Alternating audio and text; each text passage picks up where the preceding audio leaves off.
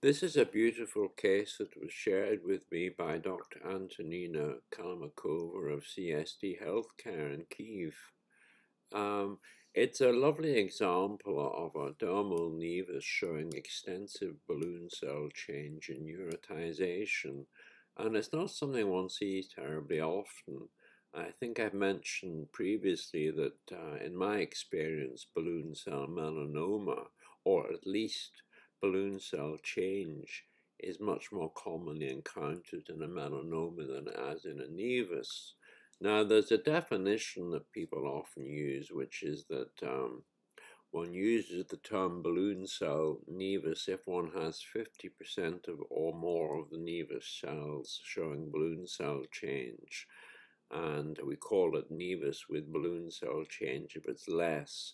To me, that's a very artificial distinction, and I wouldn't waste time over it. To me, uh, the two terms are in are interchangeable. Now, I just want to turn this image round so we can look at it in its all all of its glory.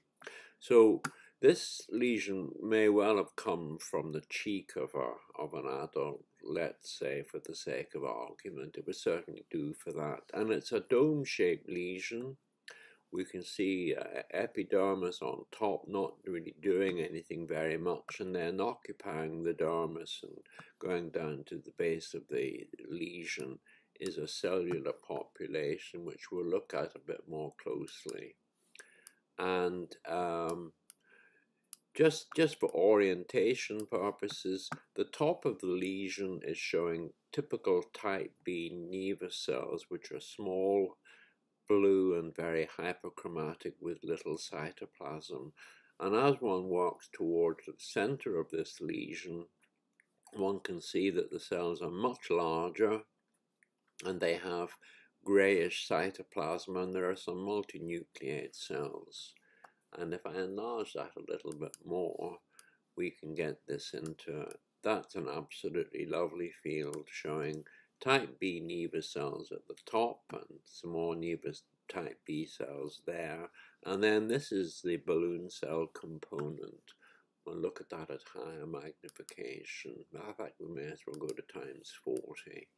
And this is this is very typical. In in a balloon cell melanocyte, the nucleus typically sits in the middle of the cell it's hyperchromatic and rather irregular. You don't see any nu nucleoli. And then it's surrounded by abundant, rather granular cytoplasm.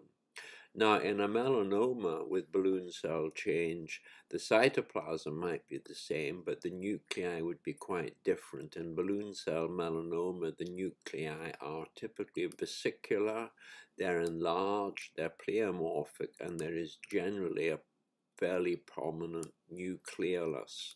So we're not seeing that anywhere in this lesion. It looks very monomorphic. The nuclei are all just the same. They're all central. They're all hyperchromatic. So I don't think one needs to worry too much about the possibility of a balloon cell melanoma. Now, this lesion also shows um, some nice additional features. It shows extensive neurotization at the base of the lesion. These are the so-called type C nevus cells, which look rather like Schwann cells. And if I enlarge this up to this magnification, you can see that the cytoplasm has this rather homogeneous, very neural appearance. And in places, now there is another cut I'm going to look at, but in places you can see a hint of a laminated internal structure, rather like Meissnerian corpuscles. Now let me go back to the low power and we'll have a look at this one, uh, this cut which is slightly different. Uh, and again it's it's a very pretty, pretty um, um, image. So there we have lovely balloon cells at, at the top, just the same as, in, as in the other cut. Here, here we can see scattered multinucleate cells, which are often present in balloon cell change. In fact, there's another one there. And uh, but as we go deeper into the lesion, um, this is what I was looking for here. This is very dramatic neurotization. Let's see if we can get, yes, now that's gorgeous. You see, if you look here carefully, you can see there's a laminated or a lamellated internal structure. These look awfully like Meissner's corpuscles.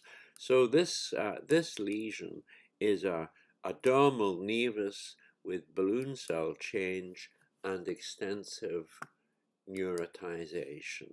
So I hope that's been of some use and of some interest to you. Thank you very much for your attention.